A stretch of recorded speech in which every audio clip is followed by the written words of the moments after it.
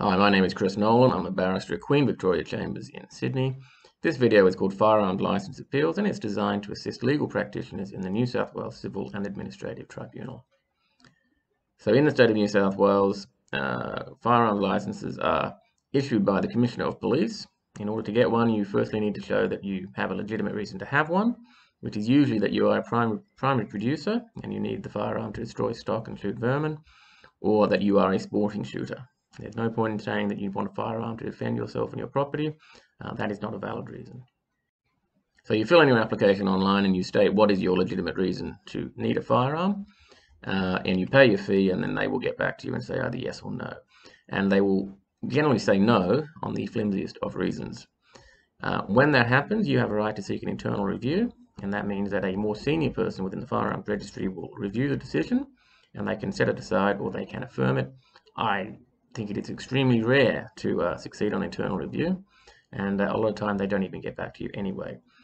Do not wait uh, to, for that internal review to come back to you. Uh, they have 28 days to complete their internal review. If they don't respond within the 28 days, it becomes what's called a deemed refusal, which means you can go straight to the tribunal and seek a review.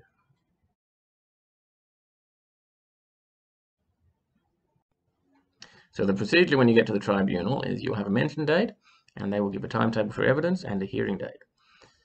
So the evidence is what's called a Section 58 bundle, and that means that uh, the, tribe, the Firearms Registry will prepare a bundle of all of the documents that they possess that are relative, relevant to your uh, application, and they will serve that on you. In most of the cases I've done, there's also been an application under Section 59, and what that means is that the police have secret information that they want to put before the tribunal but they don't want to show to the applicant, so you don't get to see it. And in my experience, that is a formality. They will make an application to the tribunal. The tribunal will list it for hearing. They will tell you it's happening, but you're not allowed to attend. The police will attend. They will show them their secret evidence. And invariably, the tribunal member will agree to admit that and put that before the tribunal member who is making the decision. But you don't get to see it and you don't get to make submissions on it. Is that information accurate? Well, we don't know. We just have to uh, assume that the police and the tribunal will always do the right thing.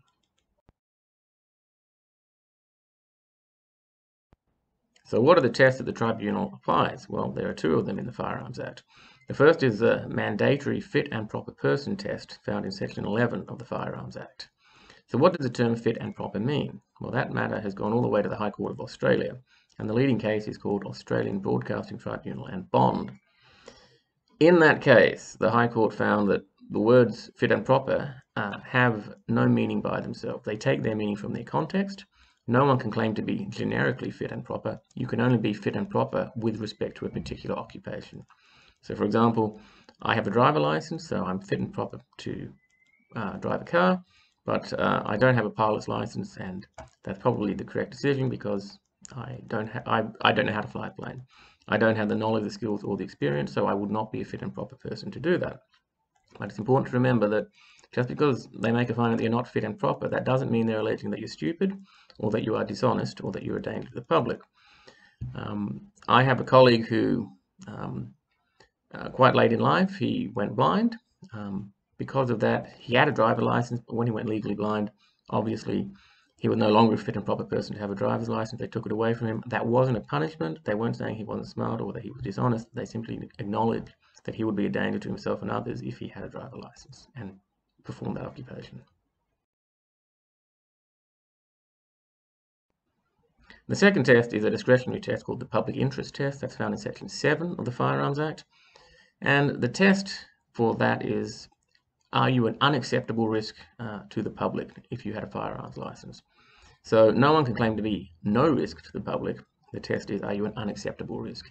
And that usually turns on uh, some criminal offences that might have been committed in the past, or it may be that uh, you have some associates who um, have done some questionable things in the past and uh, you're guilty by association.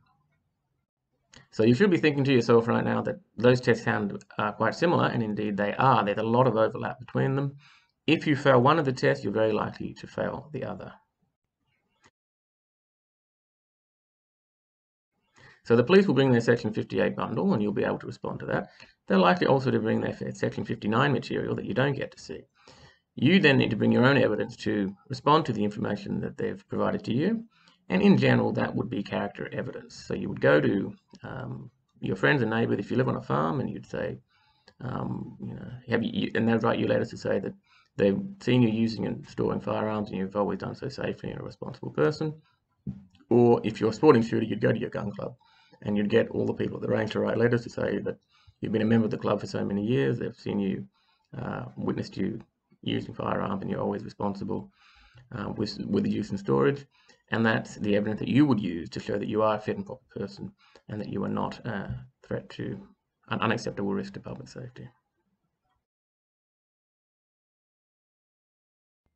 So now I'd like to tell you about a case that I ran in the tribunal called EMB, Echo Michael Bravo. Uh, EMB was a model gun owner. He, uh, his father had been in the army and trained him to use firearms when he was a child. When he was in high school, he was on the high school shooting team and competed in marksmanship competitions. When he left high school, he joined the army and uh, they trained him to use firearms. After he left the army, he lived on a country property and worked as a primary producer using firearms, and he was a keen marksman. He would travel the world going to shooting competitions, and he was, would coach younger guys to do that as well.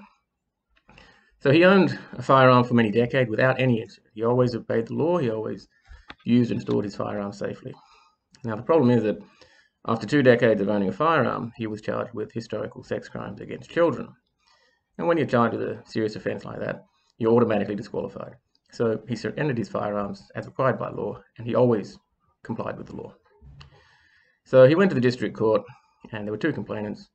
One of them gave her evidence, and after that, the DPP sought leave to withdraw the indictment against him, which meant uh, he walked out of court an innocent man. He walked in as an innocent man, and he walked out with his innocence intact.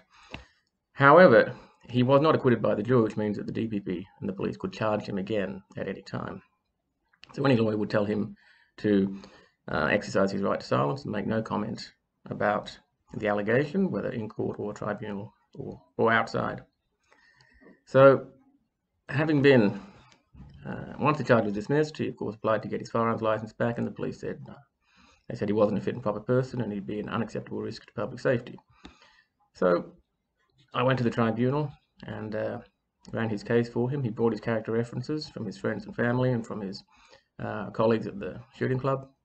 Uh,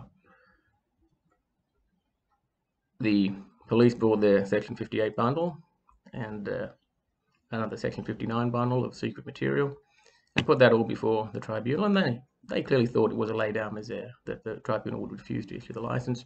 And they were very surprised when the tribunal um, set aside their decision and gave them uh, gave, gave EMB his firearms license. And it was an interesting judgment for this reason. The police put the entire prosecution brief of evidence before the tribunal, and EMB couldn't respond to that. He had to exercise his right to silence. And what this means is that the tribunal made a finding of fact on the balance of probabilities that the offending had occurred, and furthermore that it was abhorrent. However, the member went on to say that notwithstanding that, he was still a fit and proper person to have a firearms license, and he was not an unacceptable risk to uh, the community. Now, I've told that story to many people, both lawyers and laymen, and all of them are very surprised at that outcome. They all seem to. And the reason is that they're applying a different test to what's in the Firearms Act. Their reasoning seems to be he's a naughty boy, so we're going to take away his toys. Now, that might work with a child in primary school, but it doesn't work with adults, and it certainly is not the test in the Firearms Act. Uh, when we had our hearing, I submitted to the tribunal that there was absolutely no connection between the alleged offending, which they found had occurred, and owning a firearm. No firearm was, had been used in these alleged offences, so issuing a firearms license to EMB would not increase the risk of reoffending, and refusing to issue a firearms license would not decrease the risk of reoffending. There was no nexus. And to drive the point home, I pointed out another submission that the police had made, which was that he had some traffic offences on his record from when he was a younger man, and they were all more than 10 years old. And I said to the tribunal member, look, if they believe he's a bad driver and he's a danger to himself and others, then they would take away his driver license. They wouldn't take away his firearms license because there's absolutely no nexus between the driving offences and the firearms license. And you know, for some reason, they haven't attempted to take away his driver license. Uh, so they're being a bit disingenuous by trying to rely on those traffic offences. So EMB got up in the tribunal, they set aside the decision and uh, ordered that the police commissioner issue a license. Now the problem here is that the police commissioner then refused to do so. Um, he acted, well, 28 days went by and the police have a 28 day period to lodge an appeal. After 27 days they filed their appeal and they sought a stay. Now that stay application was heard uh, about six weeks after the uh, NCAT hearing and the stay was refused. So uh, a, a NCAT order comes into force on the day it's made. For that six-week period, the police commissioner had been had, had been breach of the tribunal's orders, and that technically is a, a contempt of the tribunal. So, what do you do when the police commissioner simply refuses to obey the law or accept a decision of the tribunal? Uh, the tribunal itself can't send people to prison. What it can do is refer people to uh, the Supreme Court to be dealt with for contempt. And that's exactly what I did. On about the 20th of December, I put on an application to refer the police commissioner to the Supreme Court for uh, contempt of the tribunal. And in pretty short order, we received an email from the Firearms Registry saying that they would issue the license.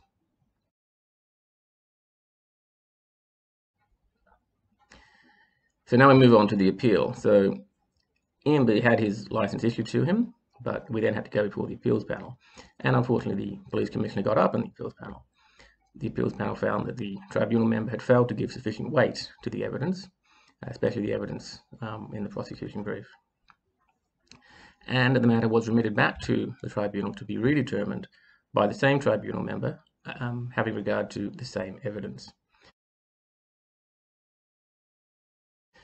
Now, Unsurprisingly to me, the same member looked at the same evidence and came to the same conclusion. She found that EMB was a fit and proper person to have a firearms license and that he was not an unacceptable risk to public safety. Now, second time around, she went to great pains to list all of the evidence that had been put in front of her and all of the uh, and how much weight she was giving that evidence and all the inferences she was making from that evidence. So the second time around, it was the same conclusion but it was a much more detailed judgment explaining exactly how those two tests apply and exactly how she was using the evidence. Once again, the Commissioner of Police was dissatisfied with this decision and lodged an appeal. So that appeal was uh, dismissed and uh, EMB has had his firearms license and his firearms and he's been using them and storing them without incident ever since. So the moral of the story is if you have a matter a firearms matter in the NCAT, don't get misled or misdirected into other areas. Look at the Firearms Act and address the two tests that are in it, which is the fit and proper person test and the public safety and the public interest test. Don't get distracted by other tests or other things which might not be relevant to your particular case. So thank you for your attention and please uh, watch my other videos and subscribe. Thank you.